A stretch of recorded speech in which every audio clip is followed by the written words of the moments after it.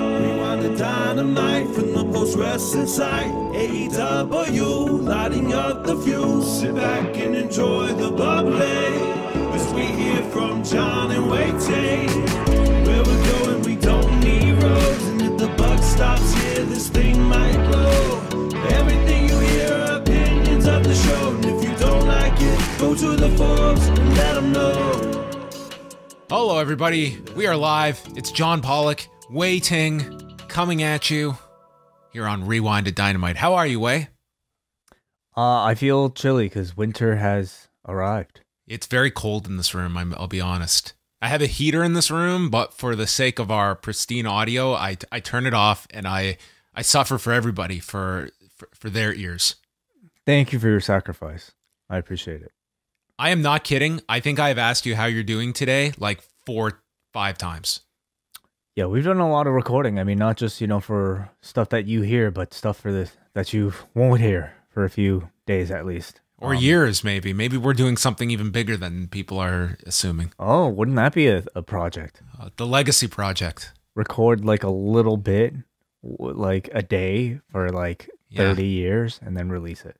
Imagine if we did uh, a one minute conversation every day forever, and then we had like thousands of one minute exchanges all put together. That would be insane. Yeah, that'd be such a waste of time.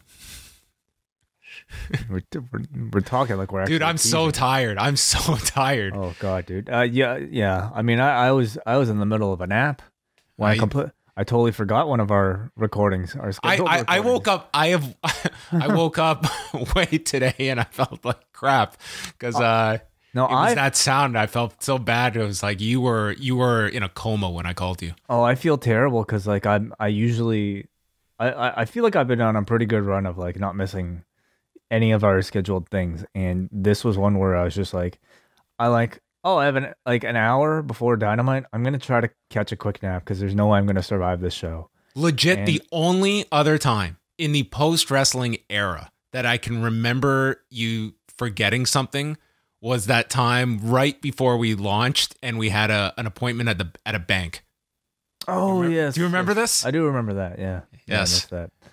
Anyway, that's so- it that that's like that's like it Yeah, so so I mean, I guess it just you know we we have a lot of things kind of you know juggling. So apologies, but I, I mean I thought I, you know this show was was definitely an energizing show.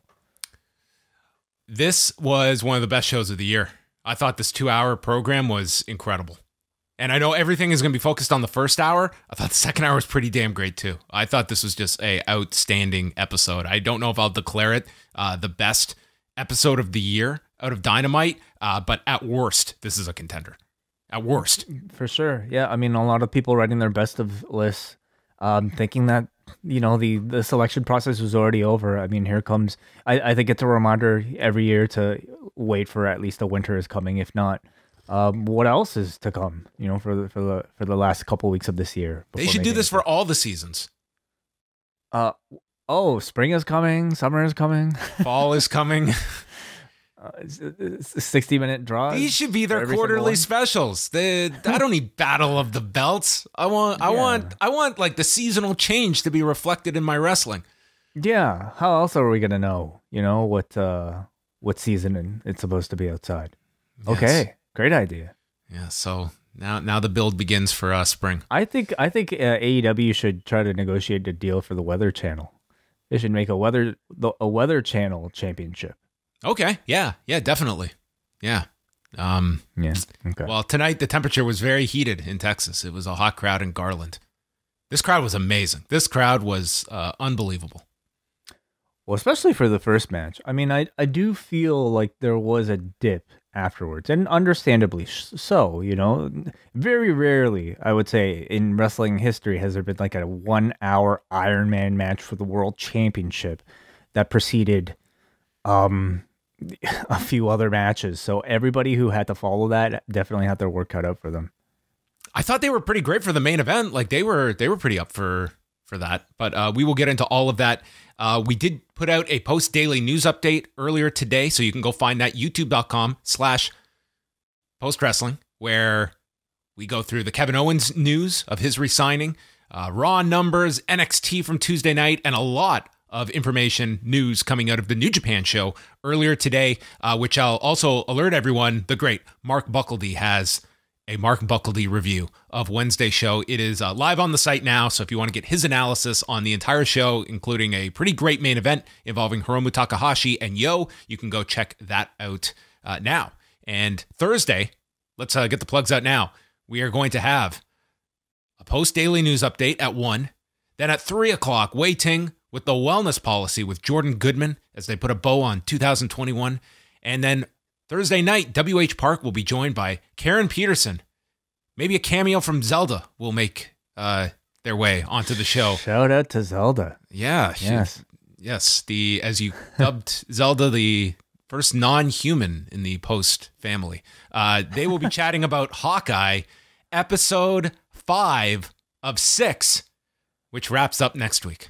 Yeah, John, care to tell the No, for- no, Jesus Christ. I just want for the record to be stated, I was the one who was asked what they thought of Succession. I did not bring up anything, but Jesus Christ, you would think that I ruined Christmas for everybody. I'm just going to shut up and I'm not going to talk about anything because my God, I we can't. will we will leave the conversation, of course, to to uh, WH and Karen. I'm very excited to hear their thoughts because episode five of Hawkeye was a lot of fun. Uh, but I will be missing the show because I'll be watching Spider-Man: No Way Home. So I've I've I've unfollowed all my social media. I muted all the words. Uh, so hopefully I could stay spoiler free until tomorrow. Is there, is there any way, like, who could see it by now? Who could, like, spoil I believe it's already out in the UK. And, Oh. and and there have been uh, preview screenings on, since Monday, Sure. so critics Right. reviews are out. Yeah. I am uh, I am really happy for you that this is happening now. I, I'm very nervous about all the, uh, especially in the province of Ontario. Like my wife just found out tonight, um, she cannot go back to work in January. She will be working from home all of January.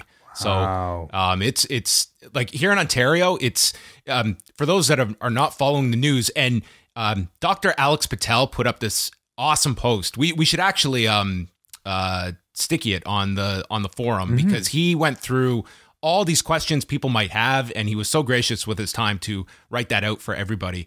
But uh, here in Ontario, one thing where um, it could tie into professional wrestling is that um, large events over a thousand people are going to have 50% capacity. We don't know when this when this is exactly going to be enacted, um, but it sounds like it's going to be soon. And of course, WWE has that Toronto show at the end of the month at Coca Cola Coliseum, and I have uh, asked WWE. I don't even know if that would necessarily be something they are aware of yet, or much less um, have any kind of answer to. But yeah, nonetheless, in Ontario, we we are seeing these restrictions come uh, pretty fast. Um, there's a lot of uh, t- today was a very busy day for the Ontario government. I believe booster shots are we're, we're going to be eligible for relatively Yes. soon.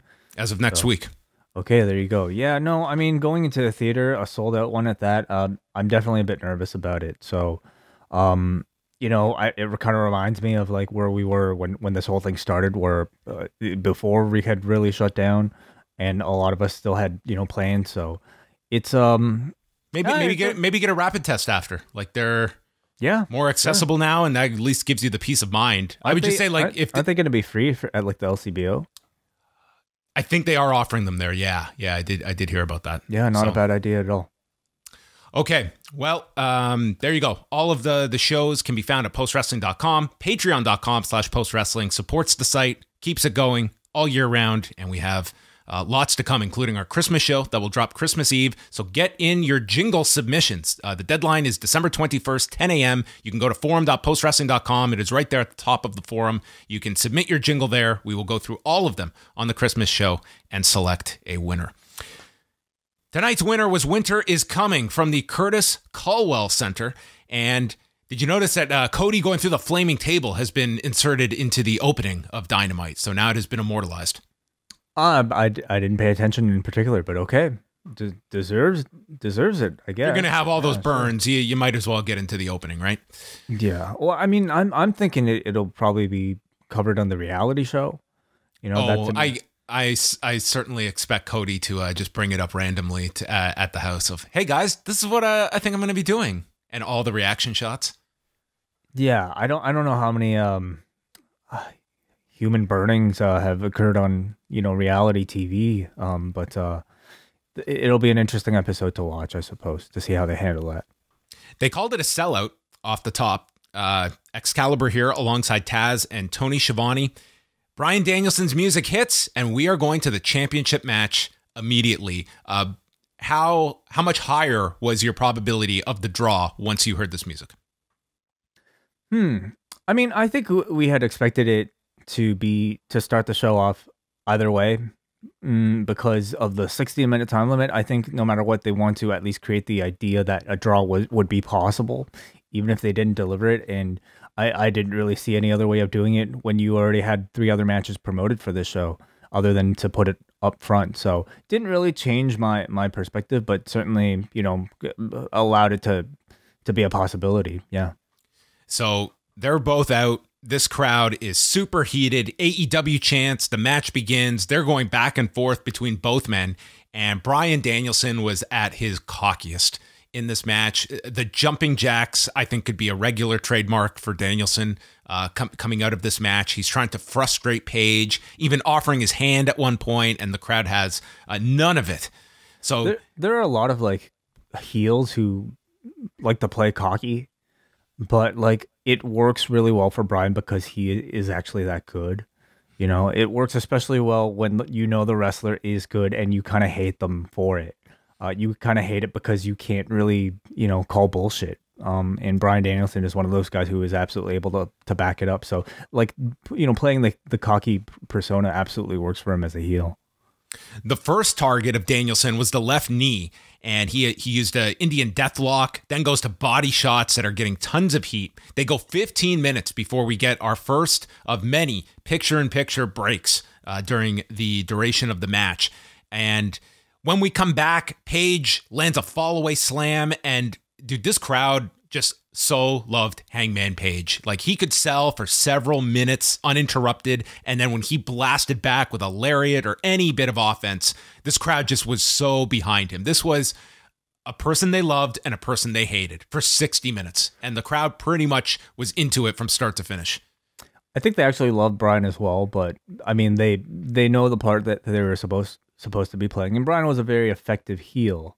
So, um, you know, at one point there were there were like, you know, as the commentators mentioned, 40-60 or according to Taz, 59-39 um, split um, between the "Let's Go Bryan and "Cowboy Shit" chants it, it, was definitely a crowd that was appreciative of the both of them, but they were also, you know, uh, willing to play the part that they were supposed to. I think like off the top, you certainly had the the 59-39, but once the match got going, it was it was definitely more, I, I think, one sided with Page because dude, Danielson was in control of this for like 80% of the match was him just beating on Page and it and it worked very effectively.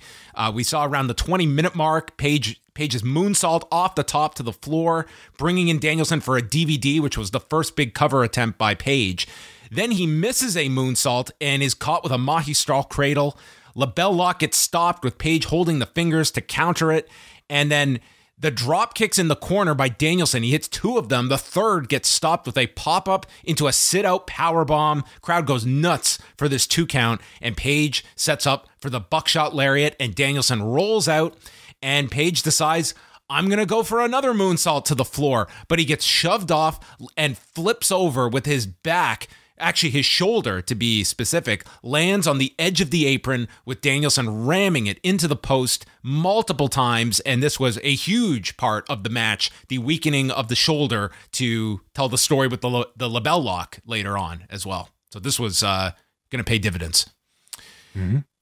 Then uh, we after the shoulder spots, Danielson just goes into the ring and he's posing. The crowd is booing, and we get our second picture in picture. This is around 28 minutes in, and Page is busted open. So the whole break, Page is on the floor. Uh, Dr. Sampson is checking on him, and Danielson. I was glad the TSN did not uh, deprive us of this picture in picture because we got Danielson giving the middle finger to the crowd. He was uh, cupping the ear, then doing the jumping jacks. He was just doing everything in his heel arsenal during this commercial break where there was no interaction between the two. It was Page selling and getting checked on, and Danielson working the crowd. I thought this was great. He was button mashing all the taunt controls available to him in, on the joy, joystick. Yeah, I mean it's it's a chance for them to rest, of course, as well. But I think as a a picture in picture segment, I mean, you're providing a compelling visual and a little tiny picture for audiences to come back to. Is that a category for the year end? Best, Best picture pic- in picture. Yeah. Um, if if somebody dares to go back and revisit every single It, one. it, it'll be that one you hated where we got the pinfall during the picture in picture. oh God, yeah, sure. So they come back. Danielson targets the cut with a flying knee off the apron. And at one point, he's putting Page's face into the turnbuckle and they zoom in on this blood just like gushing out of Page. Um, just awful masochist shooting this show. Um, yeah, I mean, um, it, we we somehow love seeing blood. They love they love their blood and they love the act of it like squirting out. Uh, cattle mutilation is almost applied, but Page is not down on his stomach and he gets to the rope.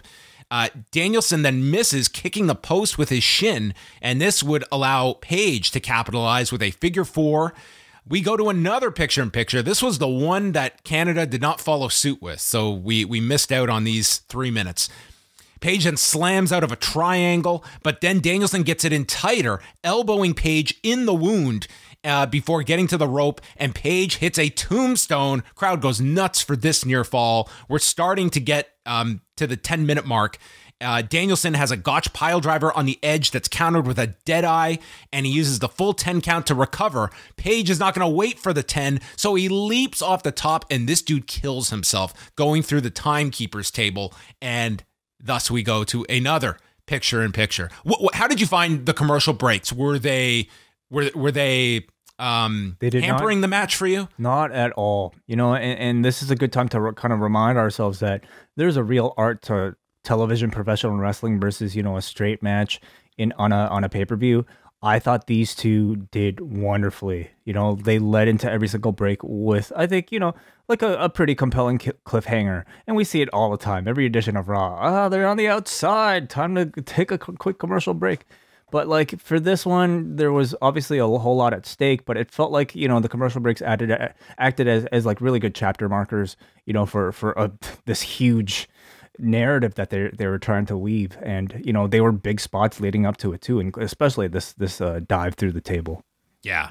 So we come back, and during the break, there's a DDT by Danielson onto the exposed floor, and we've got 10 minutes to go. There's kicks by Danielson. Page fires off lariats, but they're not as effective because of the injured shoulder. Um, commentary was terrific throughout this, and thought- pay- I paying so much attention to this. Taz, Taz is is really stepped up.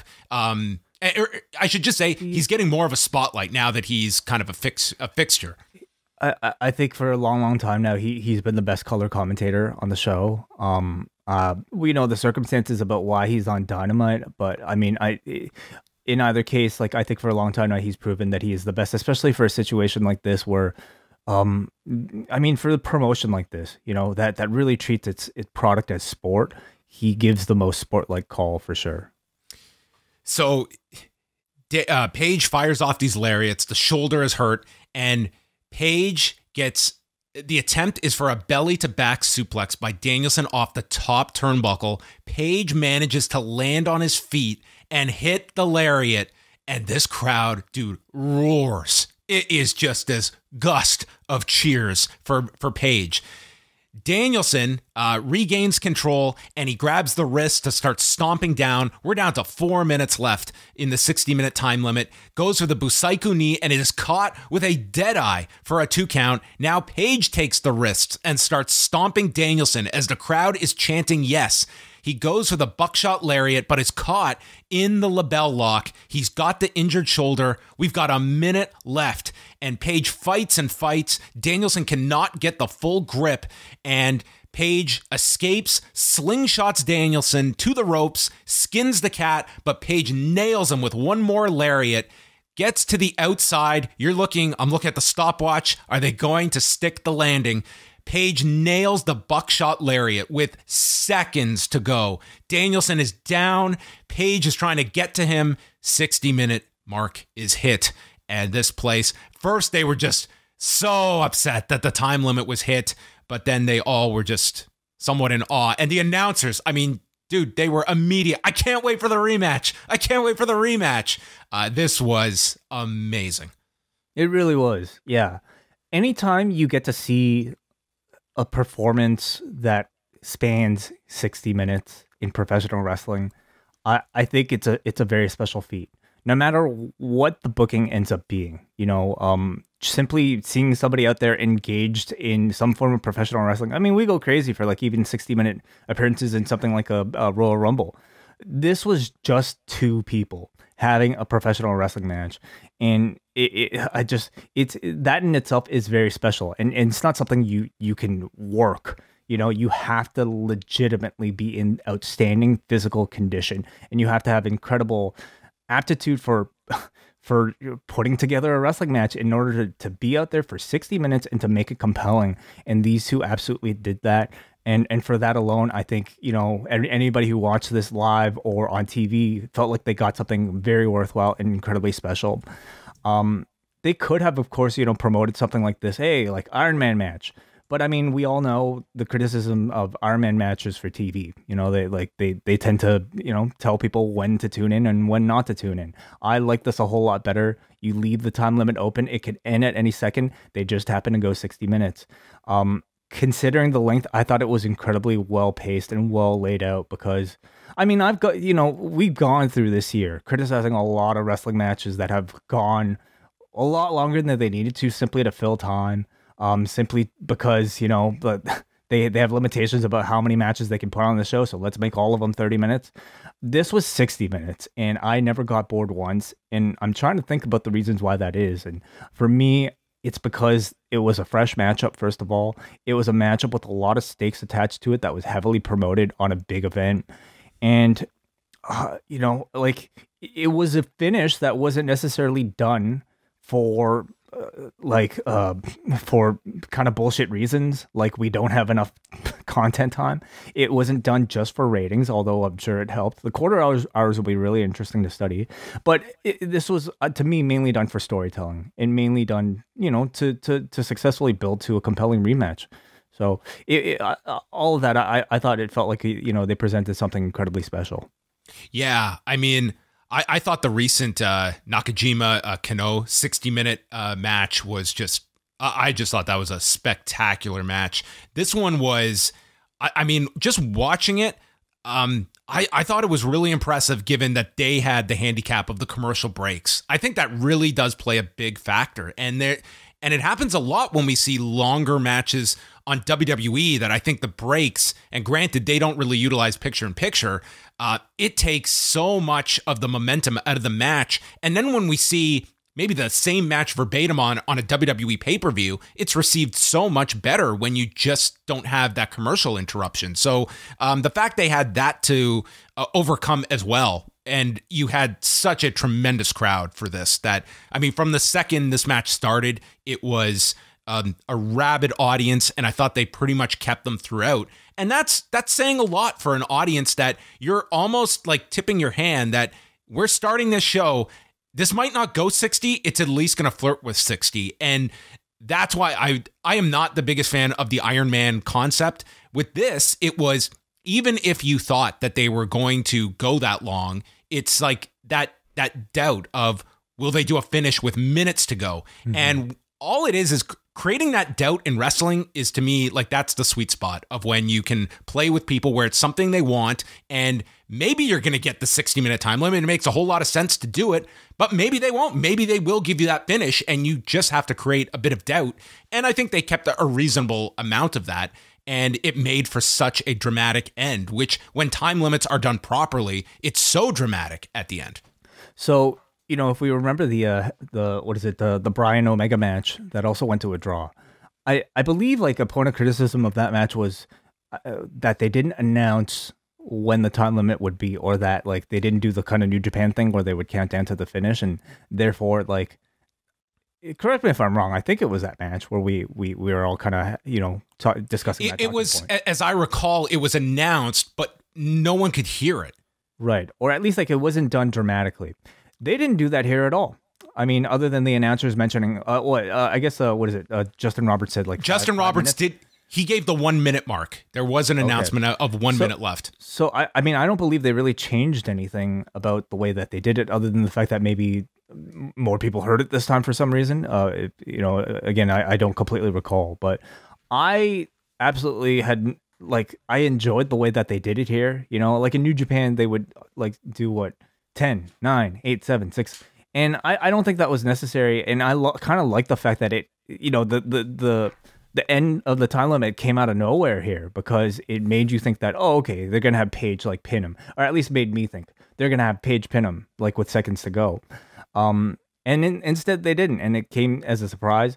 I thought the booking was very satisfying. You know, I going into even like talking about this match this afternoon, I I doubted whether or not they would do the draw because I think it was important for Page to get a first championship, like a first successful title defense for his first defense.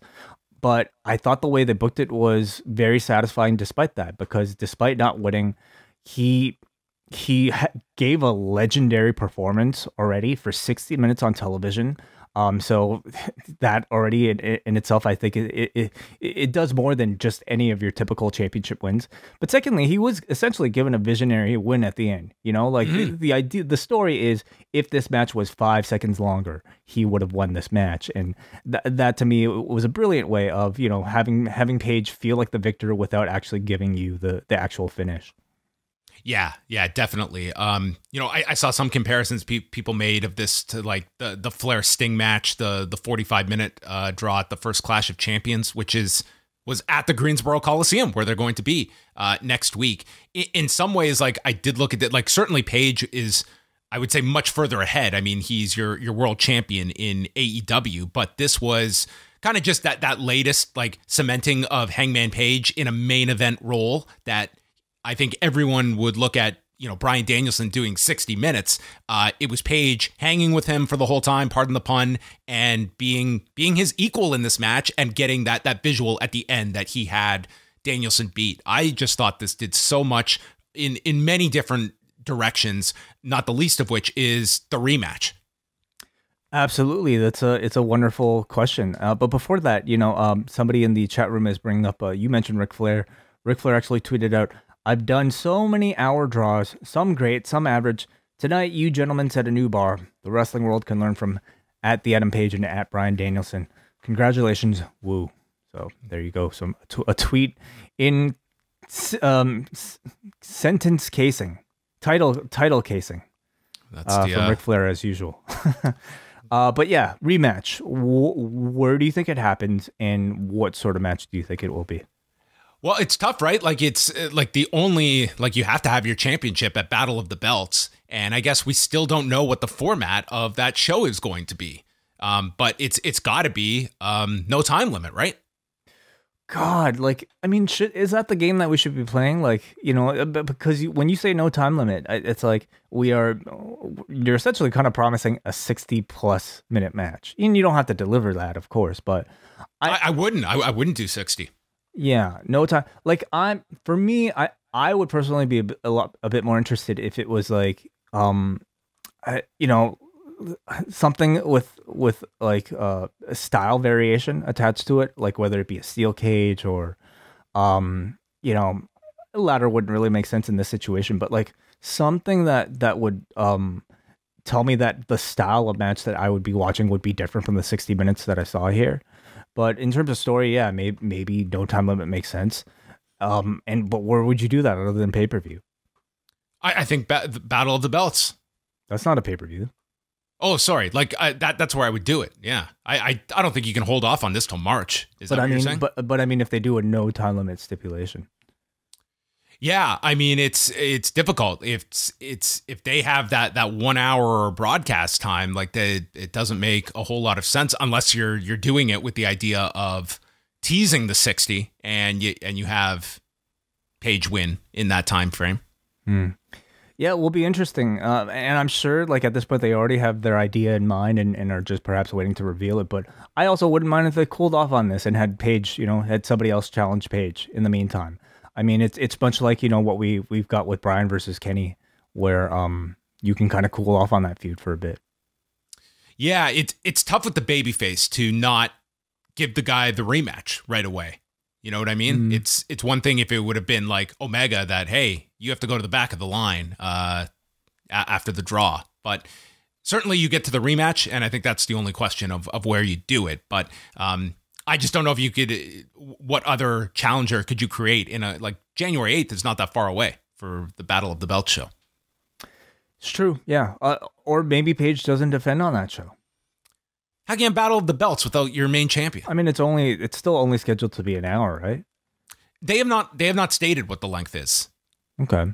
So But I mean, you can headline with a Britt Baker defense. You know, you can have your tag titles. You can have your TNT title. So we'll see. Uh, let us know, uh, uh, you know, audience. So, what kind of stipulation would you guys like to see? Would you like to see another straight up match? You know, between these two, these two. How many hours should they go the next time? a two hour match, What? Why not three? Best of three hours. Yes. Yeah, have it continue. At the into- end, into we we Rampage. we have judges that will grade each hour. Who won each hour?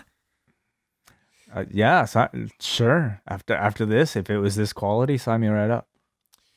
We go to the back. The Young Bucks are with uh, Adam Cole and Bobby Fish in a uh, a Christmas uh, Christmas decor here backstage, and they address the best friends and how they've embarrassed them.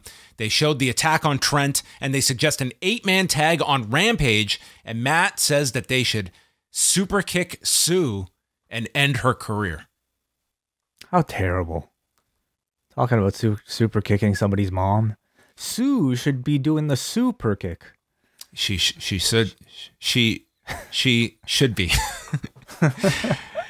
then Adam Cole says that next week on the Christmas edition of Dynamite, he is going to have the best present you could ever ask for.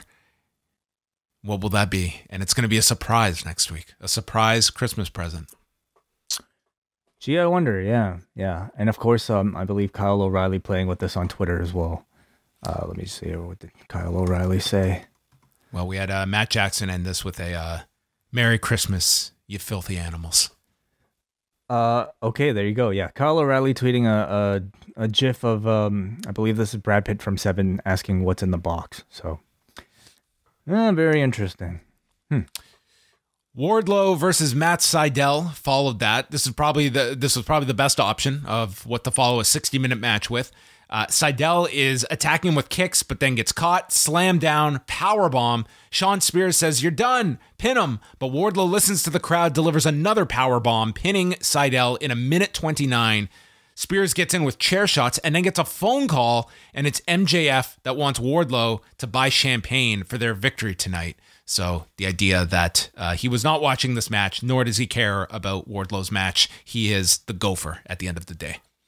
I too like the idea of like you know having a very simple squash match as a follow up to something that was so dramatic.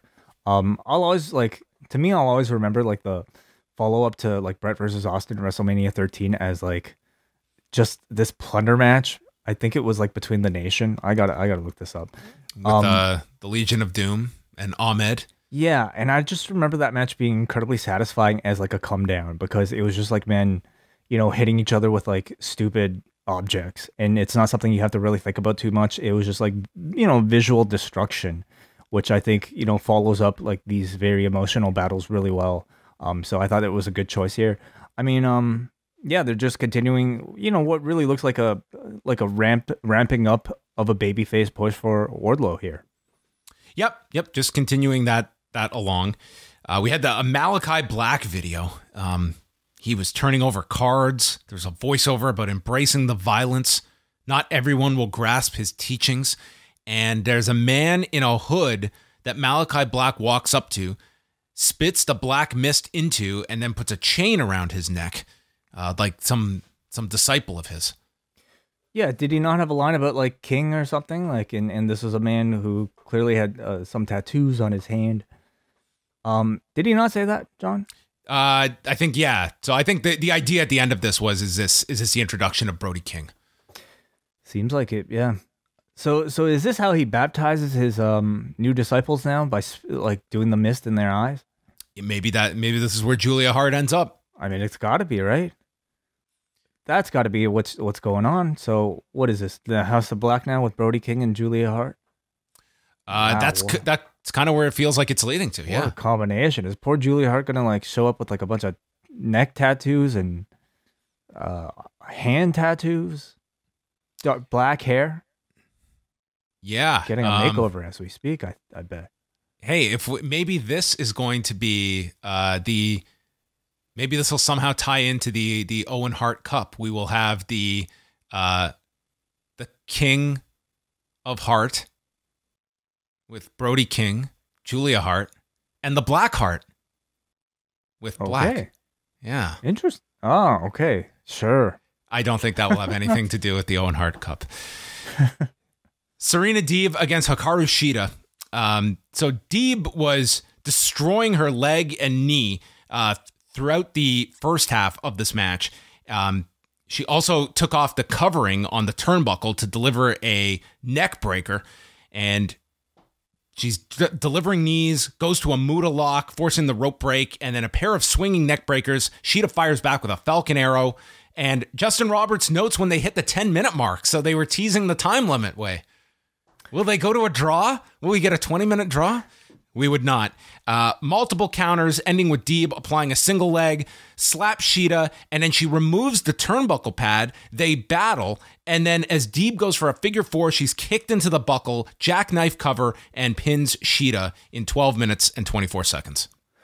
You know, I thought this was a really good match, but this was also at, at the point in the show where I, I mean, because the crowd was at such a high early on in the show, where I definitely felt like there was a, a bit of a valley here, and I, I, there were portions of the match where I don't know if the crowd necessarily had the energy to live up to what I think a grudge rubber match was supposed to elicit from them.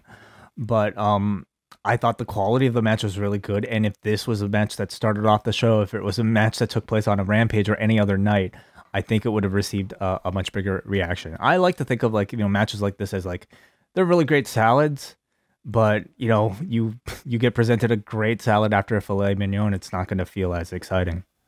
Yeah, I thought technically it was a very good match, but I think this one probably fell short of the other two that that they had. This was kind of a a, a dip for the crowd. It was also uh, I thought I thought it was like a.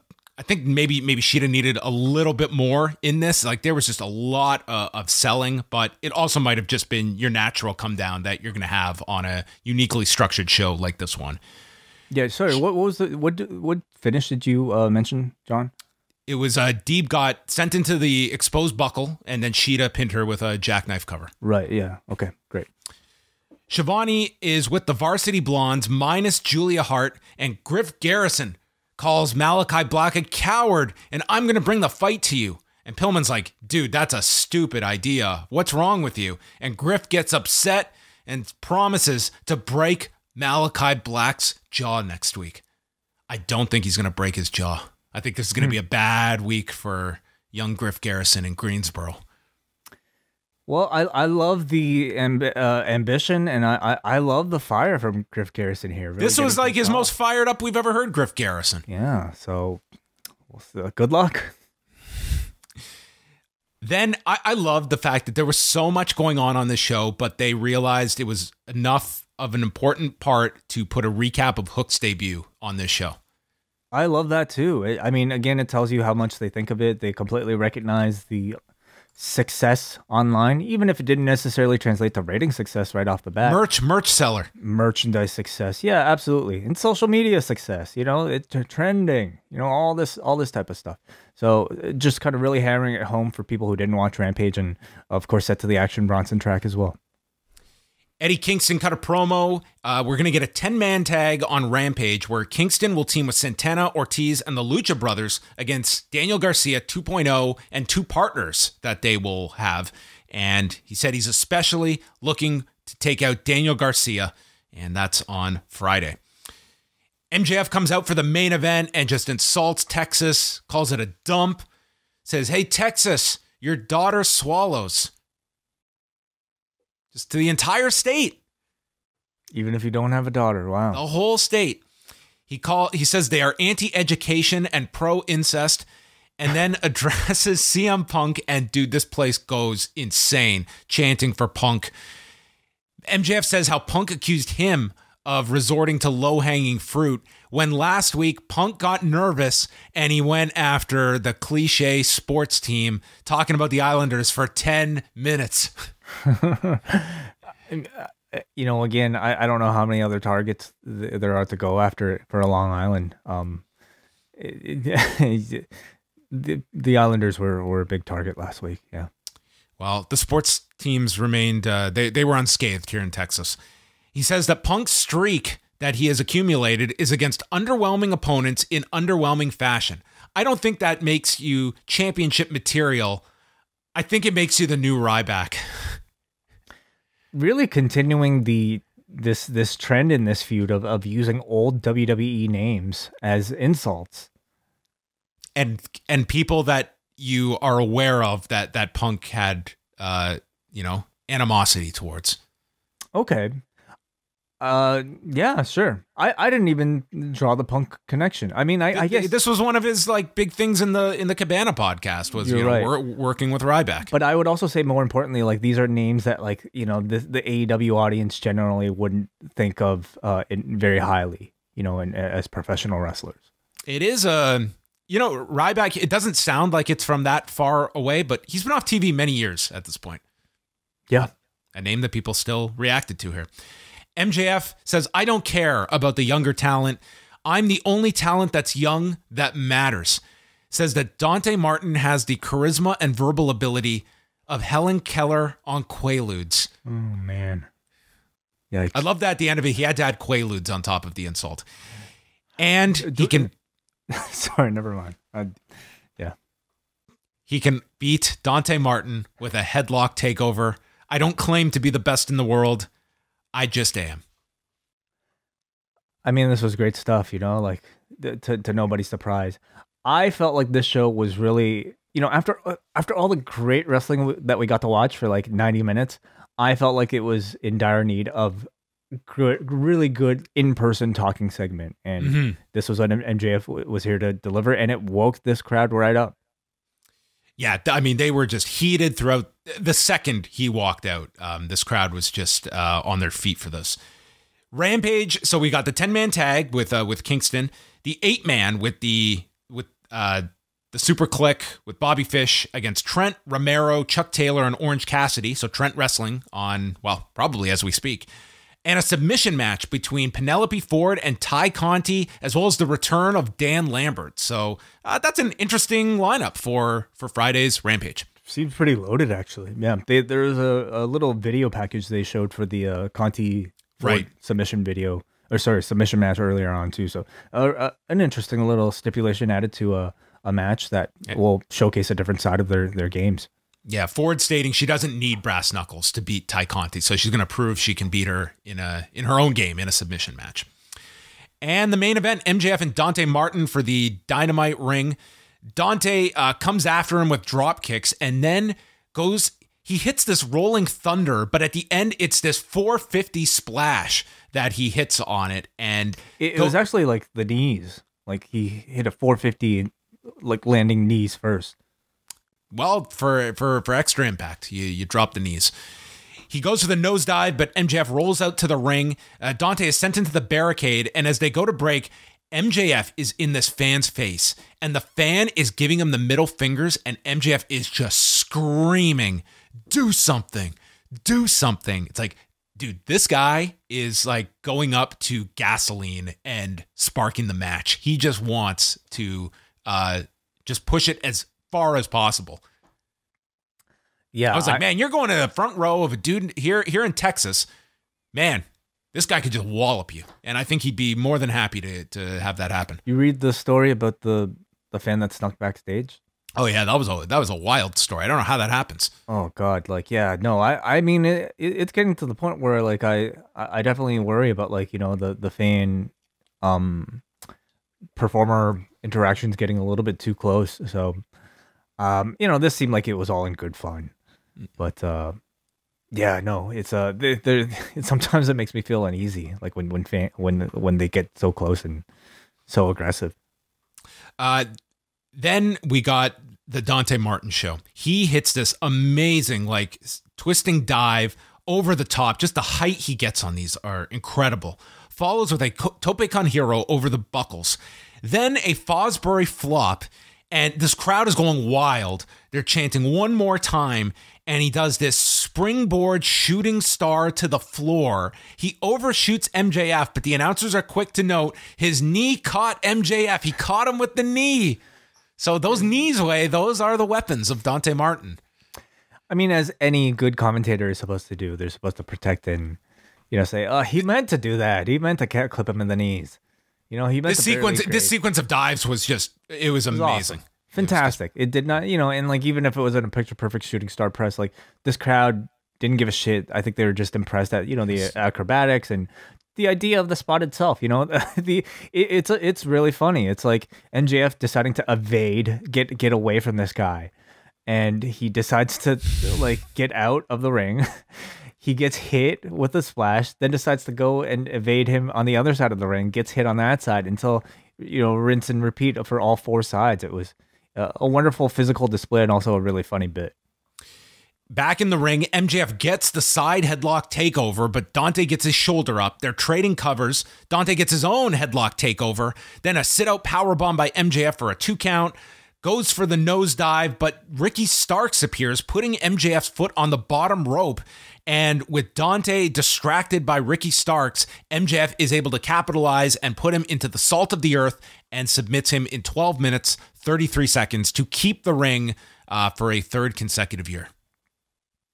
Very good match. You know, it started off with the great promo from MJF, and then just uh, what you know, a fantastic display from Dante Martin. Every time you you let this kid go to, go out there and perform, he delivers. Not everything, of course, like you know, looked perfect, but like again, it it doesn't it didn't matter, didn't affect the match at all.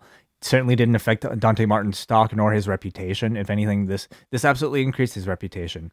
Um, I thought it was uh very enjoyable. Although, like you know, when MJF and, and Dante Martin entered into the near fall sequences, I didn't think it was as effective this time around as it was for the Darby Allin match, and maybe at least for me because that match in that spot was so recognized from that match. I just kind of recognized it as, oh, okay, they're going into the you know the they're going into this sequence, like they're going into this act rather than like something that was unfolding organically. So that that just might be a personal nitpick for me, but Yeah, I just thought the way it was brought up in the promo, it would have had a more prominent um, meaning in the match, the headlock takeover, instead of Dante just getting the shoulder up. Like it's Yeah, almost like this this maybe. uh you know salt in the wound kind of move to to use that um you know had had Ricky Starks interfered somehow and then MJF uses the side headlock takeover to get the win. right, Something like that. Yeah, just you know his like that being his actual finisher, like fake finisher. Right, Yeah. exactly. It's like someone else does the work and he gets the credit winning with the takeover. So anyway, I, I thought it was a really fun main event. I thought I thought both looked great. Um, Dante is like I thought this was just a spectacular outing for him in this main event. And then the Pinnacle is out to celebrate, reminding us that uh, the Pinnacle is a group here in AEW. FTR's got MJF up on their shoulders. The lights go out. Sting and Darby appear in the ring. They attack FTR. MJF eventually low blows Sting, and then they double team Darby. This whole crowd starts chanting CM Punk. Punk comes out to a gigantic pop, and he's got a bat chasing the pinnacle out of the ring, setting up a six man tag for Greensboro next week. Um, FTR has to be in their glory. After getting to play heels in Mexico earlier this month, now they get to go work Sting in Greensboro. Um, that crowd should be electric next week. Um, And they just came from Ring of Honor, like doing stuff with the Briscoes. right, they've got the Briscoes God, program. everywhere. That like, I mean, I, I don't, I don't know what your pick is for like tag team of the year yet, and and I'm sure it's it's actually probably not as easy of a choice as as we make it seem, but uh, FTR have have been really like had, they've had a great year. They're getting calls from Edge to go check on on the house. Yeah, I mean they they're everywhere. crossing every door. Yeah. So- Except except for Edge's house, they missed that one. yeah, yeah. Well, they're they're busy guys. Um, that was the show. I, I thought this was such an excellent show. I I enjoyed it uh, thoroughly, and that sixty minute match. I think that that's like an all time television match. Uh, among the AEW television matches, it's been an incredible catalog they've put together in two and a half years. But they're uh, that match is going to be on a lot of people's short list. Completely agree. You know, anytime you're presented a match like this on free television, um, in a very kind of good condensed two hour setting, um, it's you, you this this show can't be anything but a thumbs up. And you know, it wasn't just that, but like everything else on the show was was very strong as well. Um, I I thought Deeb and Shida was a good match. Unfortunately, they had to follow, you know, an amazing, great all time classic, perhaps. Um, but I thought they did their best and you know wrapped up their feud nicely. And then you had a really good main event too between uh, MJF and Dante, Dante, Martin that I thought really elevated both men. One other thing, I, I like when shows you know play with their format and it's like why can't we do this and mm-hmm. you know i remember remember several years ago when they did the um they did the gauntlet match on raw and they had seth rollins go like over an hour it's just like totally throwing your regular viewing pattern out the window and almost like your audience is just watching something that they're just not their brain is not used to watching a show that way. And i just think the idea of doing a 60 minute match on tv yeah it sounds ambitious. You have to work around commercials but it, you can you can pull off many different ways of presenting a 2 hour wrestling show. So when you deviate from the norm i think it can it can do wonders. Totally agree. Yeah. Um i'm very curious to see what the quarter rating breakdown will be this week and you know, it, it's interesting because like I think Raw had very much the same idea of wanting to put you know a big name star like a Bobby Lashley on throughout the course of its uh, three hours, but their method was to have three separate matches.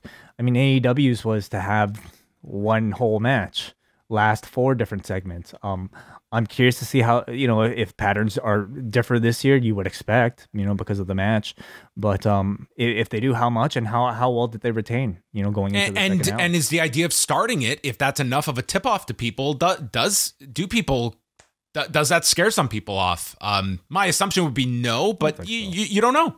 You don't know. Yeah. Hey, uh, one last thing. You know, uh, Schiavone kept like teasing that Tony Khan was going to have a big announcement about the holiday bash. Um, as far as I know, the, only six thing man. That was the big announcement. S- Sting wrestling at the Greensboro Coliseum. That's, I think that that's not that big of it. Like they made it seem like it was like a game changing announcement. I mean, it's it's a sure okay Sting, but like we just saw Sting.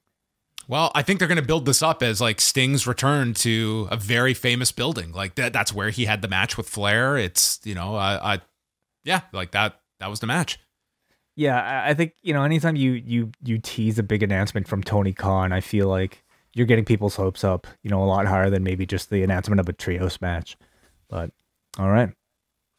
Let's go to feedback and see what everyone had to say about Winter is Coming. Andrew starts off the feedback. A lot of people expected the time limit draw, but it needed to happen. Similar to how one of AEW's first matches was a time limit draw between Cody Rhodes and Darby Allin. Now, every world title match going forward has a potential to reach the 60 minute time limit, which can make for some great drama, even in matches that aren't going to go 60. After that, it was excellent wrestling and establishing more programs in the future. It built up Wardlow, the potential debut of Brody King, and lots of stuff for next week. The only negative was I thought we were, they were going to announce something for the Owen Hart tournament. I'm wondering if they have it similar to the G1 or maybe a Young Lions Cup. Great show tonight. Shout out to Punk and his t-shirt. What was the shirt? I didn't I didn't catch it. Okay. Um Bruce says, not sure I that I can add much to what you guys will no doubt have to say, but that was one hell of a wrestling show. Danielson has given AEW two of the company's best matches in its short history, and even after that epic match, no one really felt like an afterthought, with the exception of Matt Sydal. Brody King should be a nice addition and will give Black some latitude both in ring and in his character work. Also, good on Punk for visibly supporting reproductive rights in Texas at this moment in time. Okay, so maybe that was the shirt. Oh, okay. So it's uh um in in support there. So Got it. Okay. Cool. Uh Johnny writes, What a match. I know many people don't like the draw aspect. To be fair, no one likes draws in general, but I loved it. Makes you want Bryan versus Page too. Also great on both of them being able to keep the audience engaged for the entire 60 minutes. Wish that, wish the US could get an AEW Plus like subscription because I want to see matches uninterrupted by commercials. Strong second hour, Dante Martin continuing to break out. You're so much more than a king. Thought last week Malachi attacking the Blondes was setting up Brody, and this promo must be it. Overall, strong show tonight. Do you think that will ever happen? Like, given you know, like the like them probably not wanting to affect the TNT relationship. I if I was the broadcast partner, you remember um, this was something that WWE experimented with around 2005. They had this this uh, concept called WWE Unlimited, where they would keep the cameras rolling during commercial breaks that you could watch on WWE.com, and they nixed that pretty early on because the USA Network, it's like you do not want your your your television partner sending people to the website to not watch your commercial inventory. So I just don't think something like that would be um, a great idea because it's it's sending people away from what TNT wants people to be watching, and that's the commercials.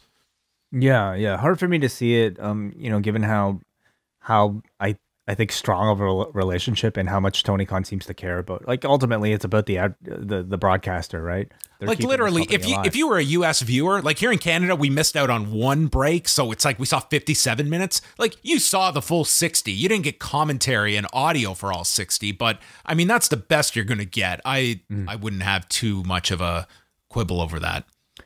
We get a Chris from Melbourne who says, "So currently with daylight savings." Dynamite Dynamite kicks off in Melbourne at 12 noon.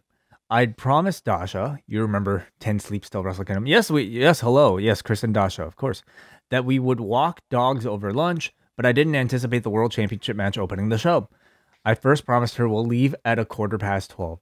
Then at 12:30, then whenever this match ends. Listen, a lot of optimism on Chris that they'd be done by 12:15. Yeah, this is not going to be a 15 minute match. Meanwhile, both dogs are standing there with their he- leads on, ready to go, wondering why I'm making them wait. I had to call it and just accept that I'd catch the ending later and hope to not get it spoiled. One dog walk later, I walk in and find the match is still going. Instant classic. I still need to go back and fill in the second half gap that I missed, but man, really cool way to continue the can't miss tradition of winter is coming. I think Chris needs the can't miss tradition of a DVR. It's a it's a wonderful device. I I think I think Chris needs to in, invest in one. But hey, uh, the the dogs have to take priority. Mm, sure, yeah. Eventually, we'll all have like you know VR goggles. Eh, robots will walk the dogs, and this won't be an issue. Yeah, I mean, my Google lenses will. I can watch the match as I'm walking the dogs. Yeah, and well, God, God help me if we walk into traffic. Well, dogs that don't won't need walking. uh, I'm thinking of like a Milano collection. Uh, Muggin writes. Hangman and Danielson made every minute of their match count. While it was a little deflating to not get a clear resolution, they told a story that was full of psychology, drama, and attrition. Bryan's ability to work a crowd is unrivaled, and Hangman put on one hell of a performance. Battle of the Belts needs to be the place for the rematch. Shida and Deeb capped off their trilogy with a solid match. With ROH shutting its doors, I can bet that Brody King will join the House of Black soon enough. MJF and Dante was a good main event, and Long Island was an anomaly. I almost expected the Briscoes to show up after what happened at Final Battle. First hour of winter is coming eclipses the second hour by a wide margin.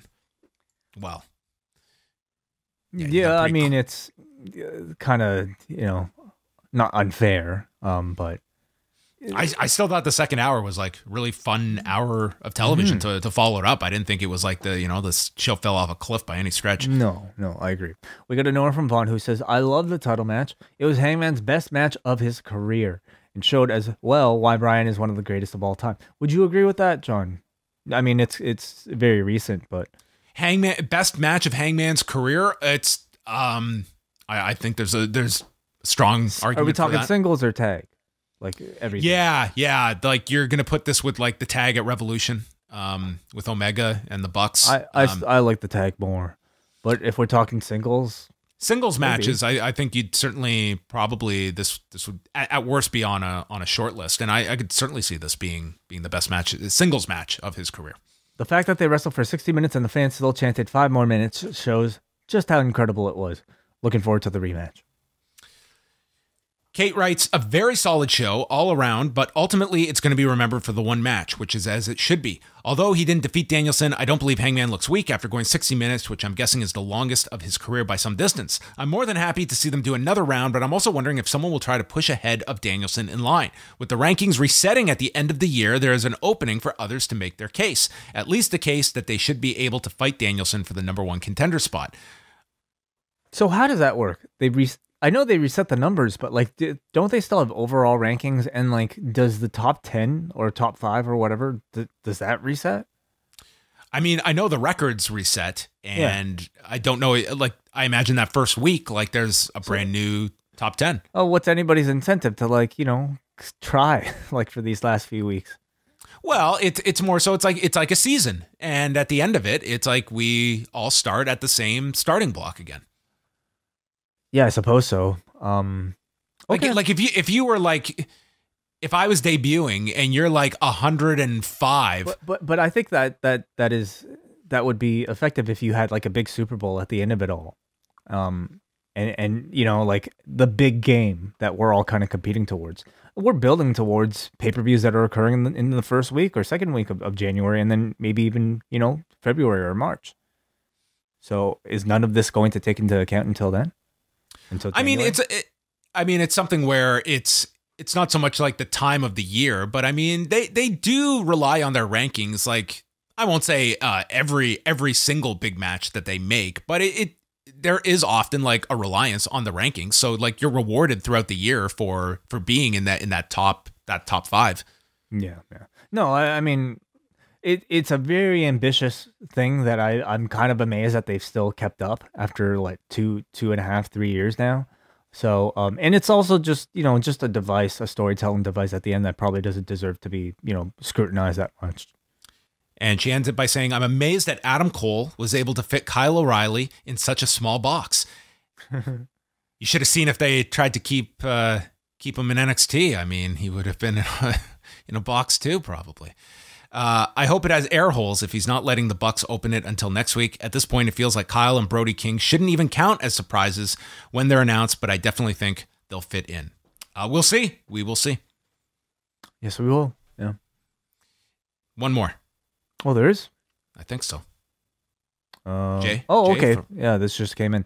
Jay from Colorado says another fantastic episode of Dynamite from top to bottom. As usual, they've set up the next week of programming, and there's a lot to look forward to. The 60 minute match to start the show was a pleasant surprise, and even though we knew where it was going, it didn't take away from the excitement of the match. Do you think the Malakai Black video was meant to introduce somebody new into the House of Black? And if so, who do you think that mask figure could be? I think Um, everyone's pointing in the same direction. I mean, you're certainly led to believe it's it's Brody King. It makes the most sense, and I don't think we have to do some like swerve. Who else has a lot of tattoos? Who else could it be?